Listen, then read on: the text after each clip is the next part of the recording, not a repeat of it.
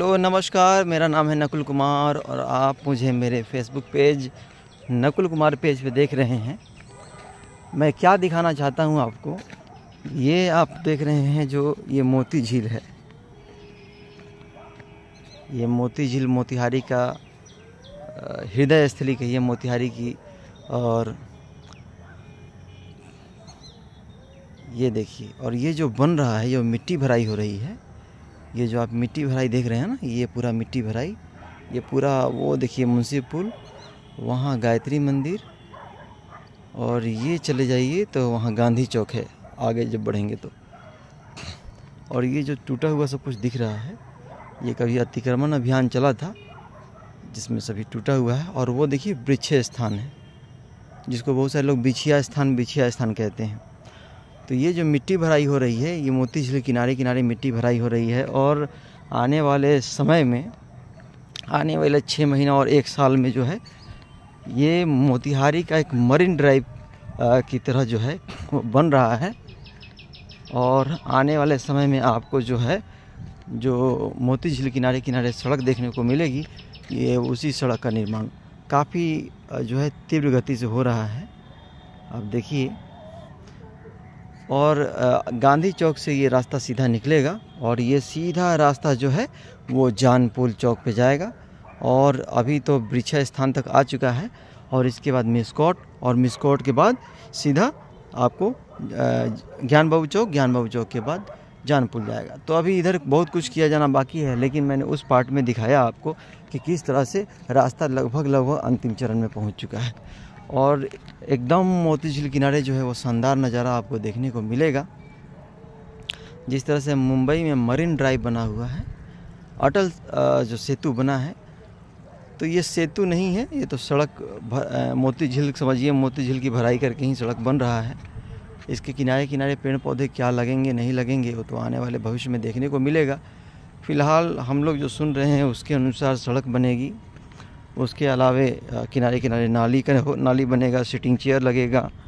और आने वाले समय में लोगों को टहलने के लिए एक अच्छा जगह मिल जाएगा। तो चलिए कोई भी विकास का काम जो है वो हो रहा है तो अच्छा ही है। और आने वाले समय में यदि इधर अ,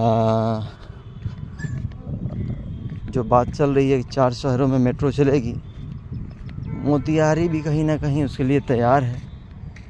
और मोती झील किनारे किनारे यदि मेट्रो या फिर टॉय ट्रेन का जो लोगों की परिकल्पना है, वो अगर चलने लगे तो काफ़ी सुंदर दृश्य दिखेगा। फ़िलहाल ये जो है मोतिहारी के मोती झील के उत्तर में इस इस सड़कों का निर्माण हो रहा है, पूर्व से पश्चिम की ओर।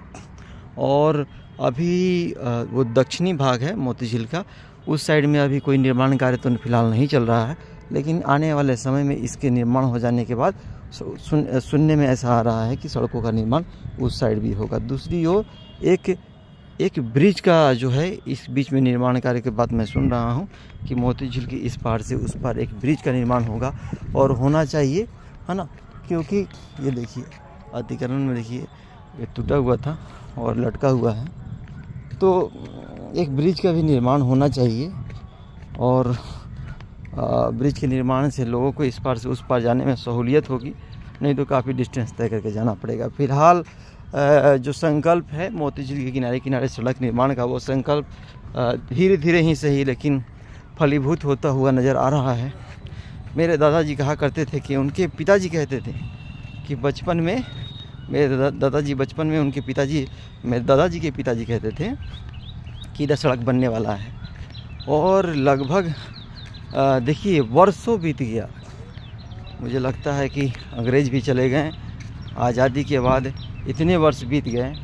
और आज जब हम लोग बड़े हुए, तब जाकर हम सड़क निर्माण देख रहे हैं, जो लोग सुनते आ रहे थे और हम देख रहे हैं।